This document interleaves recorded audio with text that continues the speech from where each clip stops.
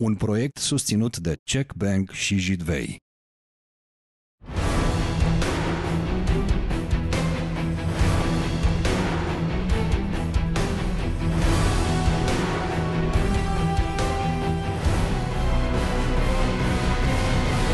Dragi prieteni ai istoriei, acest episod al nostru s-ar putea numi Regina Maria și tigrul din Franța. Dar nu este vorba despre vreun tigru din junglă, ci de un om politic francez, supranumit Tigrul, pe care Regina Maria l-a întâlnit la Paris în luna martie a anului 1919.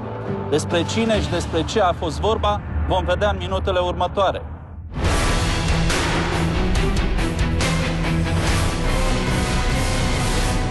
La sfârșitul primului război mondial, regina Maria a României era o femeie de 44 de ani, la fel de frumoasă și de fermecătoare precum fusese și în prima tinerețe.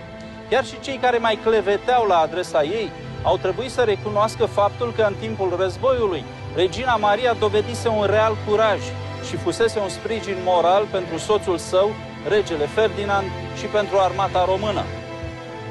Dar la începutul conferinței de pace de la Paris, în anul 1919, demersurile diplomatice pentru recunoașterea României mari s-au dovedit mai grele decât se estimase.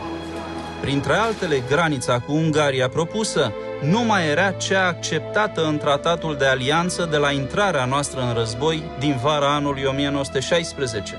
În aceste condiții, prim-ministrul român Ionel Brătianu, care conducea delegația de la Paris, a protestat vehement și a plecat din conferință.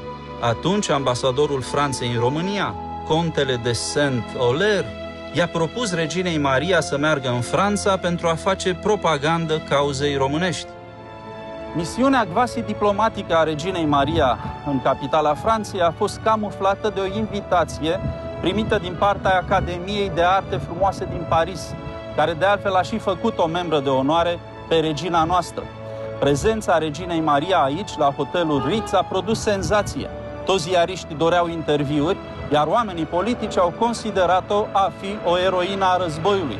Cu această ocazie, regina Maria s-a întâlnit cu președintele francez Raymond Poincaré și cu prim-ministru Georges Clemenceau, cel care, atenție, era supranumit Tigrul.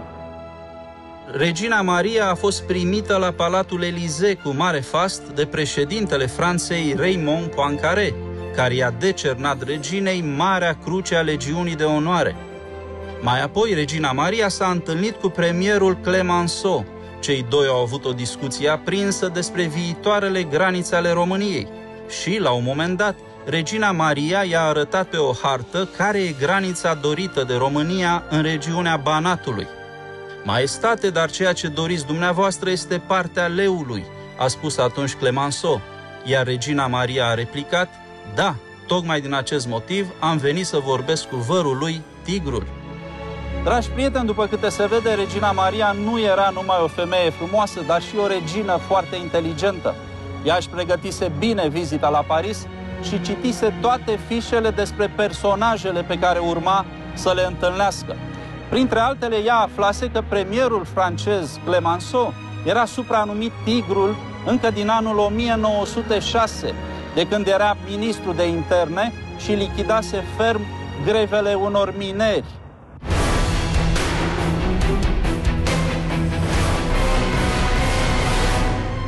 Morala episodului nostru este că în momentele cruciale de la sfârșitul primului război mondial, România a avut șansa de a avea conducători cu farmec, dar și cu maniere. Evident și contextul mondial ne-a ajutat. Iar în majoritatea cazurilor, conducătorii pentru a avea valoare trebuie să aibă și spirit, dar și educație. Regina Maria le-a avut pe amândouă. Iar până la întâlnirea noastră viitoare, nu uitați că istoria rămâne cea mai frumoasă poveste, iar unirea se construiește zi de zi.